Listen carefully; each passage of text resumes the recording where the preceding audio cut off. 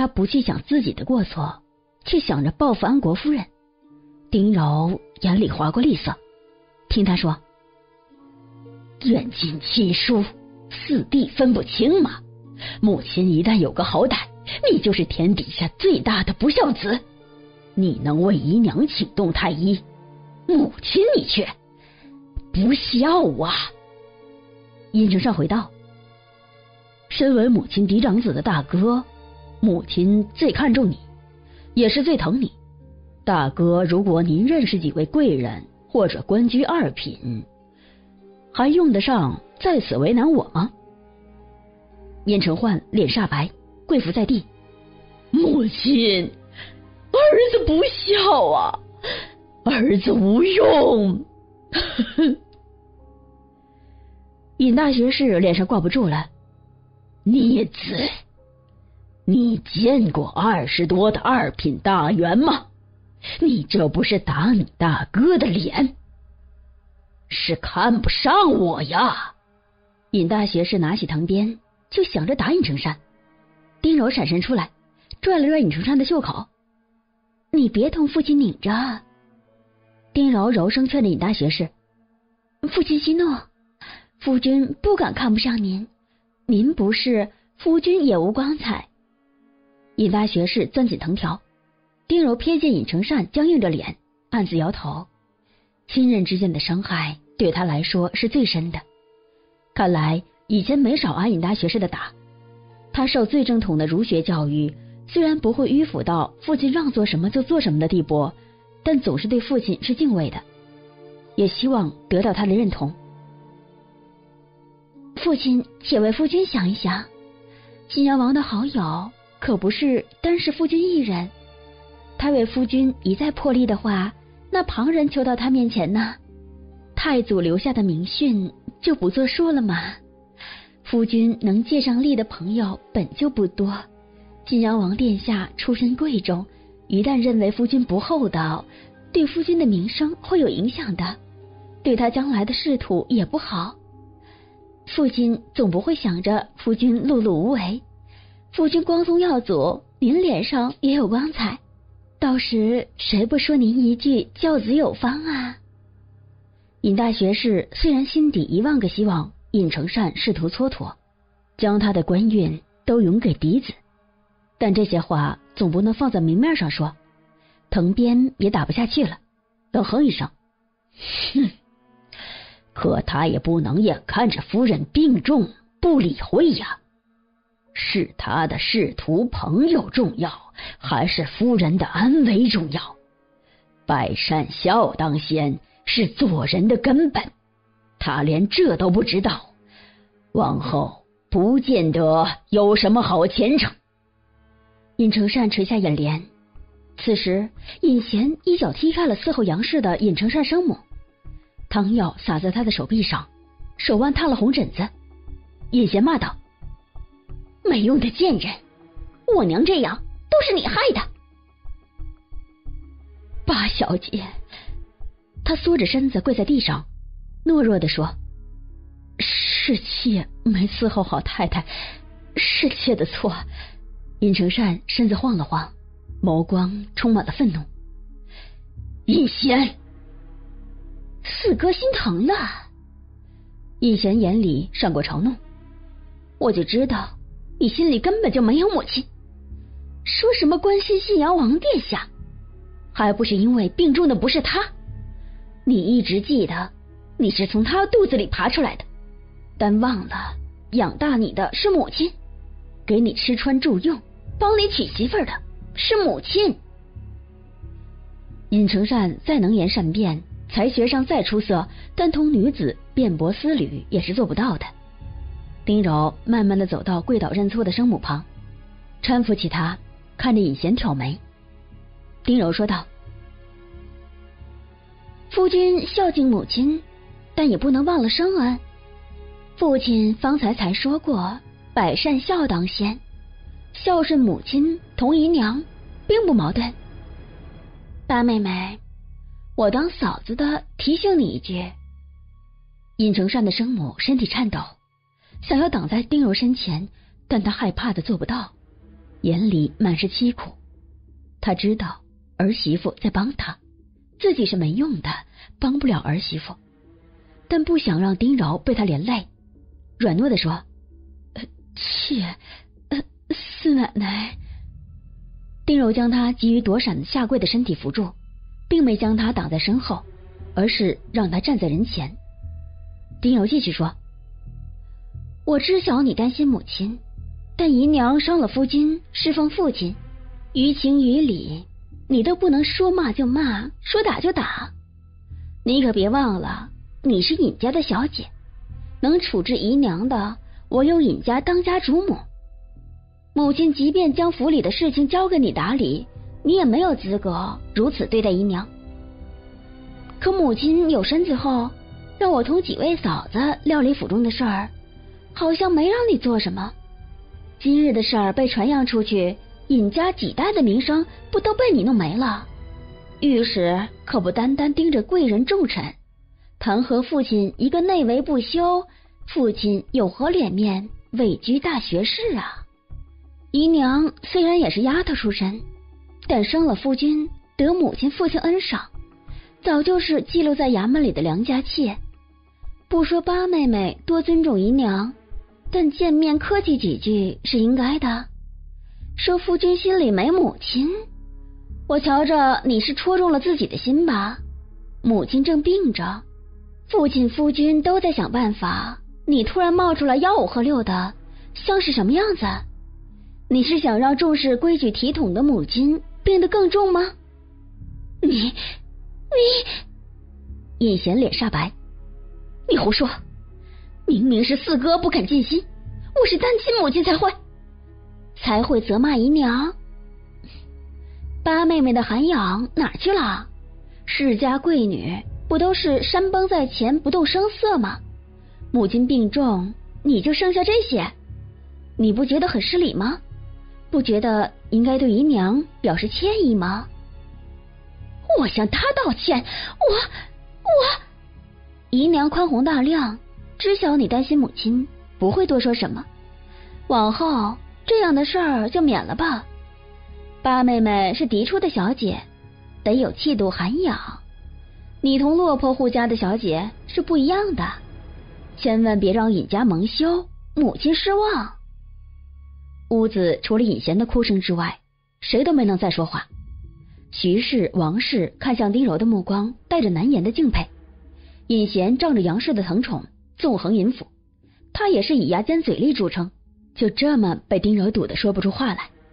三奶奶王氏扶住尹贤，唤了一声：“八妹妹。”丁柔不是不想让尹贤给姨娘道歉，也不是给尹贤留脸面，在他看不到的地方。不懂得反抗的姨娘还是会吃亏的。他借此机会想让姨娘慢慢的感受到尊重。她不是贱妾通房，是衙门里报备过的良家妾。不是丁柔打听的清楚，他实在是难以想象梁家妾能混成他这样的。杨氏跋扈是原因，他本身性子也太绵软了。他比柳氏还没底线。丁柔顺便也告诉所有的人，新进门的四奶奶不好惹。同时告诉他们，姨娘他会护着，再欺辱姨娘的时候，他们会想一想。丁柔回头对愣神的尹大学士弯了弯膝盖：“八妹妹不懂事，耽搁母亲的病情，儿媳以为……”丁柔轻轻松松将耽搁杨氏病情的帽子扣在尹贤身上，将来再有人追究起来，也是尹贤挑起的事端。丁柔偷偷的看了一眼尹承善。尹承善面色不甘心，丁柔又看了他一眼。尹承善别开目光，但能感受到丁柔的注视。他沉了沉气：“嗯，儿子有进宫面圣的资格，儿子求不了新阳王殿下，去宫里恳求陛下指派太医为母亲瞧病。”丁柔勾了勾嘴角，默契果然是需要培养的。尹承善所言，让屋子里尹家的男人同时垂头，尹大学士也不例外。想要请太医给杨氏看病，也唯有尹承善。尹大学士虽然挂了大学士的头衔，但却是闲职，除了上朝能见到皇帝外，皇帝不召见，尹大学士见不到皇上。大学士的工作极为的轻松，除了大朝之外，连衙门都不用去。尹大学士甚至说不准他是分属哪个衙门。至于尹家的嫡子们，上朝也是站在最远最角落的地方，微末小吏，离着文熙帝十万八千里。即便是在文熙帝面前装孝子，他们都找不到机会。他们绝对不敢在大朝上为了给杨氏请太医就冒犯文熙帝。好，你快去，快去吧。尹大学士语气里带着一分难言的羞愧。他官居大学士，但在尹承善面前实在是抬不起头。虽然尹承善官职没他高，但提起尹家，朝中重臣、民间百姓只会说探花郎。在外面受足了委屈，尹大学士只能用父亲压下尹承善，这也是他经常动用教子藤条的原因。他苦熬半生，在江浙派系中不显眼，在皇上面前不得重用。但尹承善年不过二十，却得派系中坚力量的另眼相看。文熙帝对尹承善的重视磨练，在年轻一代无人可比。即便尹大学士也看出一二，尹承善将来许是会成为阁臣总督。按说他应当维护尹承善，但受杨氏影响，本身又是士大夫亲贵出身，最不耐烦庶子。被他放弃了的顽劣的庶子，突然出息了。他精心培养的嫡子一个个庸碌无为，是生生的打他的脸。尹大学士对尹承善更是一万个看不上，有打压庶子的机会，他不会错过。他也怕尹承善升官太快，他得治世容养。尹承善看了丁柔一眼，丁柔让人取来披风递给他，并且在他脖子后面拍了拍：“叶风凉，夫君当心。”披上披风。尹承善握了握丁柔的胳膊，丁柔知趣的微微颔首。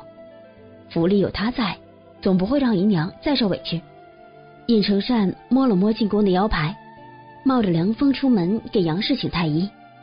不是丁柔，他才不管杨氏死活。这个时辰去皇宫请求陛下，皇上应该安歇了。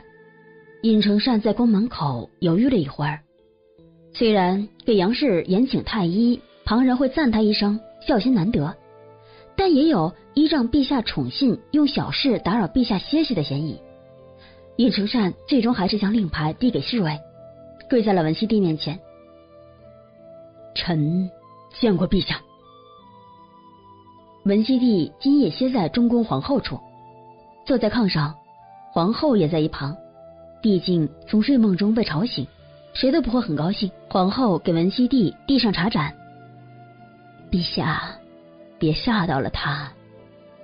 皇后真心喜欢温婉柔顺的安阳郡主，又怜惜他的身世以及受的苦楚，对安阳郡主总是提起的丁柔也多了几分好感。尹承善娶的不就是丁家六小姐丁柔？皇后无子，又陪伴文熙这么多年，他们夫妻之间的情谊远非后宫妃嫔可比。到这份上，皇后会少了一些顾忌。即便明摆着跟尹承善说话，文熙帝也不会怀疑什么。文熙帝拍了拍皇后的手，缓了缓神色。说吧，你有什么事啊？尹承善磕头，臣嫡母病重，恳请陛下破例为臣的嫡母传召太医。皇后讶然：啊，你嫡母病了？你进宫是为了求皇上恩典啊？是。尹承善头更低。家父教教导臣百善孝当先，臣不敢违逆家父，唯有厚着脸皮求恩典。臣惊扰陛下之罪，臣甘愿受罚。文熙帝皱眉，他本身是个孝子，侍奉太祖皇后极孝，也欣赏孝子。但尹承善的嫡母皇后笑着说：“哼，陛下救人如救火，有什么事待会儿再问。是不是让太医去一趟大学士府？尹亲有孝心总是好的。”文熙帝颔首：“嗯，传旨太医院，让太医给尹夫人诊脉。遵旨。叩谢陛下隆恩。尹承善再次磕头。皇后眼尖，见到他脖子处有一道红痕。尹清，你脖子后面。尹承善忙弄了弄领子，挡住红痕。在丁柔给他披上披风时，不知他用了什么法子，在脖子后面划了一刀。相信我吗？尹承善在出府门时清楚了丁柔的意图，但却猜不全。不应该单单是让陛下看到的原因。尹承善沉默不语，文熙帝眉头深锁。尹晴，尹承善低头，语气里透着无奈。父亲爱着母亲，不忍他有意外，又不信大夫的话，他又无法入宫，只能让臣来见陛下。臣用小事打扰陛下歇息，是臣之过。你父亲打的？呃，不是。尹承善说道。皇后也听说过尹府尹杨氏的做派，对庶子极为苛责。虽然她也是正宫娘娘，但庶子也是儿子。尹杨氏行事着实过分一些。皇后最大的心愿便是养个儿子，亲生的、后宫嫔妃生的都好，但她却不能。尹大学士经常教训尹承善，文熙帝听宝亲王提起过，所以他们同时认为尹承善在说谎，是为尹大学士遮掩。回陛下，真不是父亲打的。尹承善辩白，臣父教训臣时不会在外面露出任何的痕迹，这是是臣。好了，尹清，不必再说了。文熙帝看到尹承善，不由得想到从前的他，在先帝眼里，他什么都是错，做什么都比不上被他珍视的尹王。心偏了，做的再多都没有用。你想要帝位的话，唯有将他赶下去。我的儿子不需要他认可优劣。文熙帝揉了揉眉间。这是母后领兵入宫前对他说的最后一句话。皇后握住了文熙帝的手臂。陛下，文熙帝向皇后淡笑：“朕没事儿。古往今来，子不言父过。你的孝心尤为的难得，朕是明白的。”文熙帝缓了缓口气，略带惋惜的叹道。朕虽说舍不得你离京，但广州之事，朕想派个肯做事、对朕忠心的人去广州。你对此事有何想的？尹承善正色道：“回陛下，臣以为，如用野火燎原之事，虽然可以清除弊政，但广州非比别处，来往蜀国分邦的极多。”处理不好，会影响先皇帝家的通商之策。广州的海军也是震慑南阳等地，臣不赞同陛下雷霆震怒，清洗两广行省。臣也不相信两广所有的官员都被糖衣炮弹腐化掉了。他们是不是欺上瞒下、铁板一块？臣愿意替陛下一试。你愿意去？文熙帝虽然有心放尹承善出京历练，但却没想将他派去广州那么远的地方。朕派去的御史无病无痛死在广州，就连朕的检察院都查不出死因。尹清还年轻，朕不想你冒险。检察院查不出御史死因，臣更应该去。尹承善抬头看见文熙帝，御史死于心悸，臣身体好得很，从无心悸病症。文熙帝哑然失笑，哼，唯有你信他死于心悸，年轻就是好啊！无所顾忌，敢闯敢做。朕任你为广州知府。另外，朕会让检察院两广提司与你同行。告问陛下，臣是否听他的？检察院虽然同正式的官员官职不一样，但两广提司可调派两广监察人员，比广州知府权柄实力大得多。处于从属地位，会施展不开手段，影响尹承善的仕途升迁规划。他去广州，除了为国尽忠之外，也想借着广州这块最好的跳板，积累下资历，荣耀返京。梁广提司于清也是一位妙人。他夫人尤其的殷清，朕如果下旨意让他听命于你，怕是达不到效果。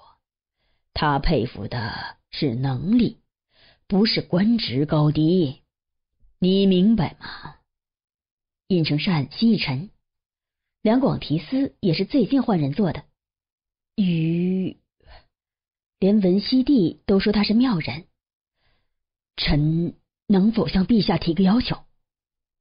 文熙帝说：“嗯，你说，只要合情合理，朕会答应。”尹承善衡量了一番，更为相信丁柔的能力。发生了今日的事，他怎么敢再让生母单独一人留在京城？尹贤、杨氏不会让他好过，说道：“臣想带着姨娘去广州。”尹庆，一直沉默的皇后发话了，打断了尹承善。本宫知晓你的孝心，然此事是你父母做主，本宫不好越俎代庖。换一个。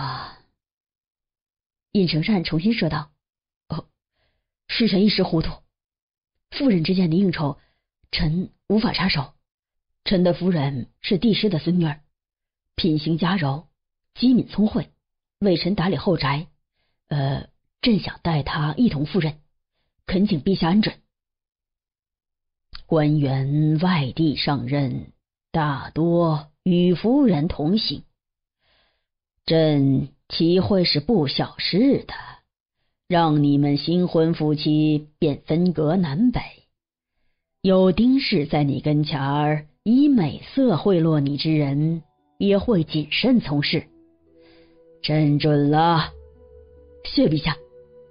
文熙帝又同尹承善说起具体的事情，尹承善展露出的才干信心，打消了文熙帝破格提拔他做知府的疑虑。